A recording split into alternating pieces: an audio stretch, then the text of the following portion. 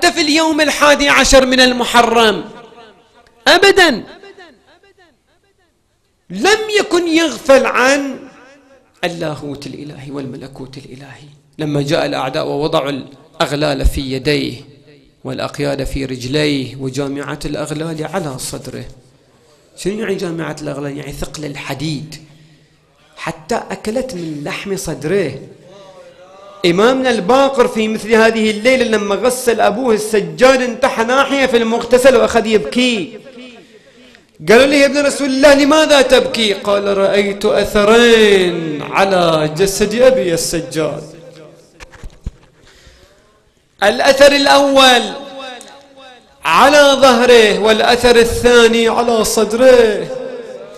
أما الذي على ظهري فأثر الجراب الذي كان يدور به على بيوتات المدينة. في نصف الليل ها؟ يوزع أطعمة وأموال. هو يباشر ويقول فلان اذهب بهذا. وأما الذي على صدره فأثر جامعة الأغلال. أربعين سنة أربعين سنة من بعد وقعت كربلاء. كان لا زال الأثر واضح في صدر الإمام بأبي وأمي.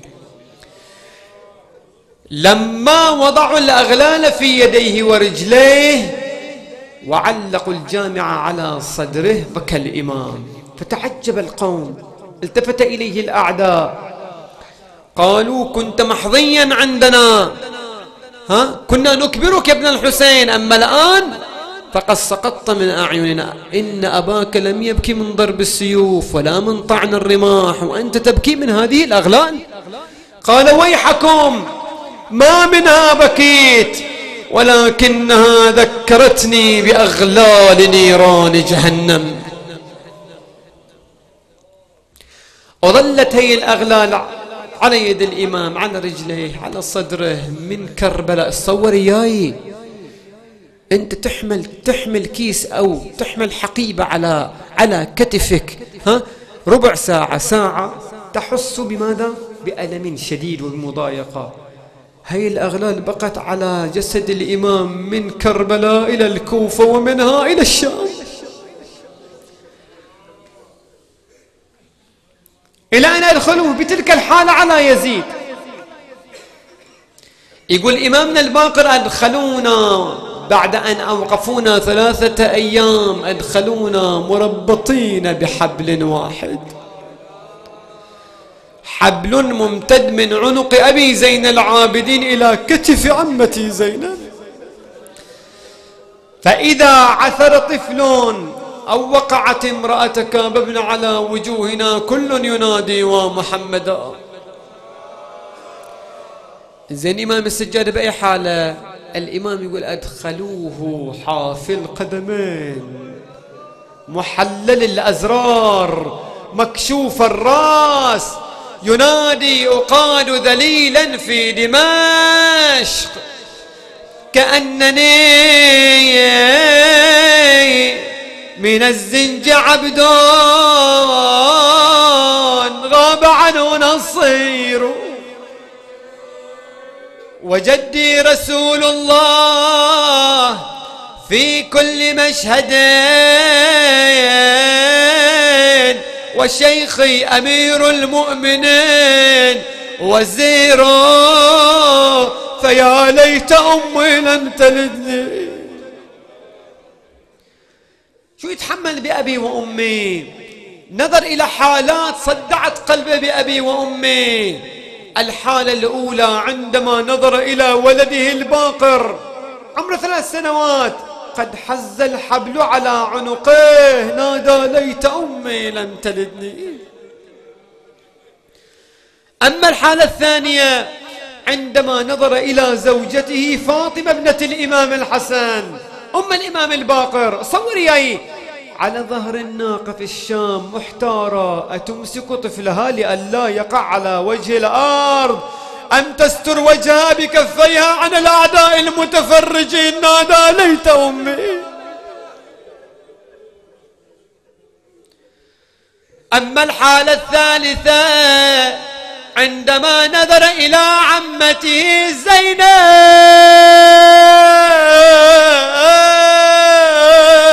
يقرع رأسها بكعب الروم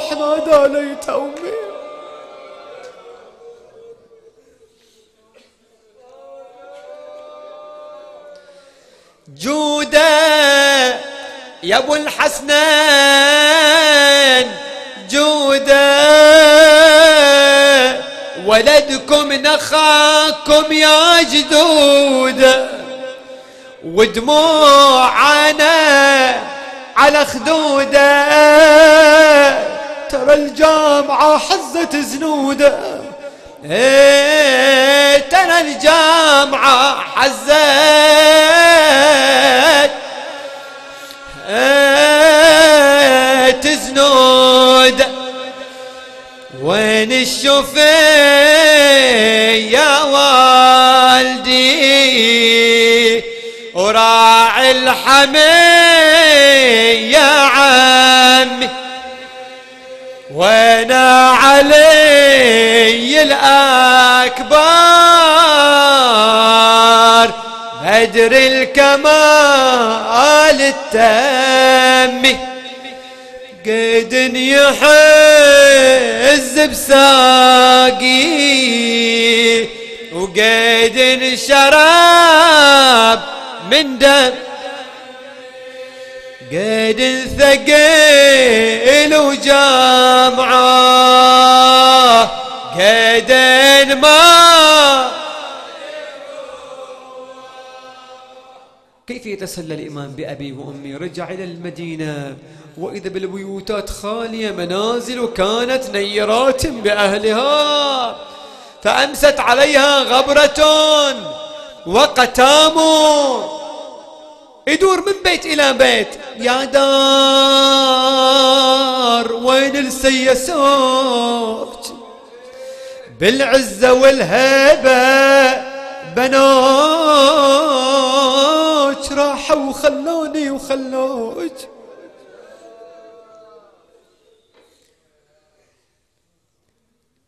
يقول لي واحد سيدي أي البلدان عليكم أشد؟ ها؟ أنتم من بلد إلى بلد كم بلدة دخلتون؟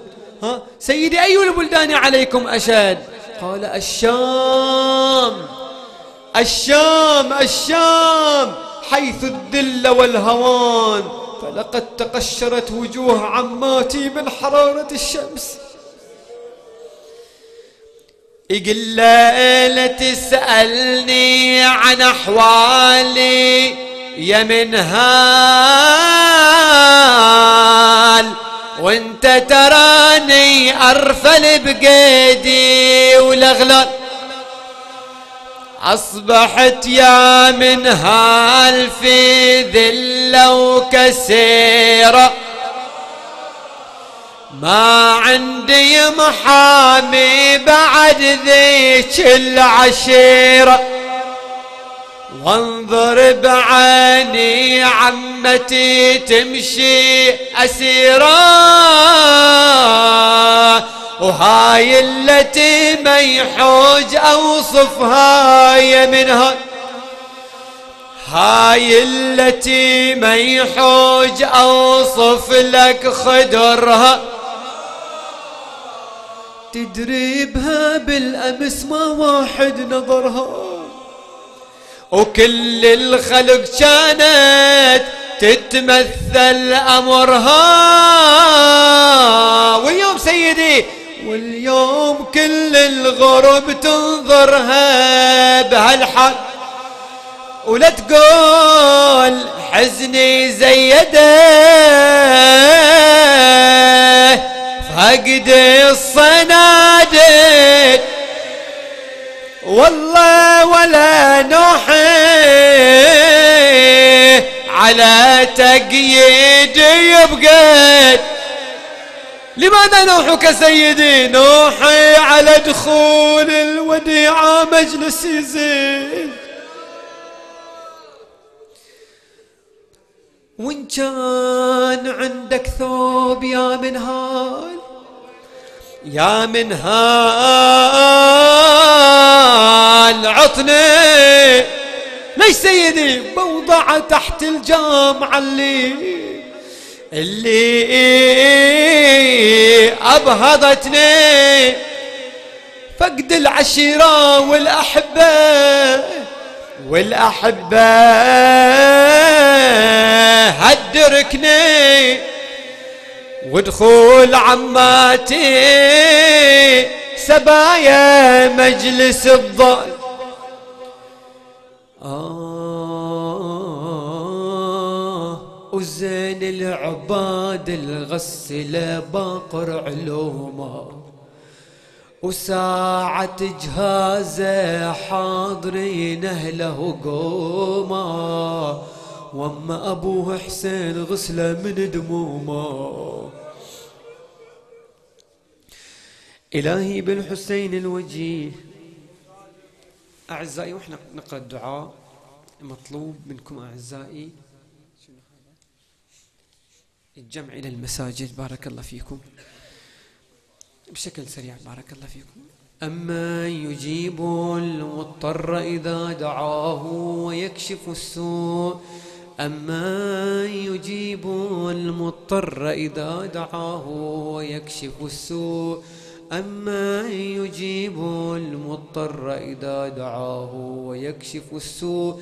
يا مجيب دعوة المضطرين وكاشف السوء والبلوى أجب دعوتنا يا الله. شاف مرضانا داو جرحانا فك أسرانا رد غرباءنا. إلهي ارحم موتانا وموتى المؤمنين والمؤمنات ومن مات على الإيمان لا سيما العلماء والشهداء وخدام الحسين. نهدي للجميع ثواب الفاتحة مع الصلوات.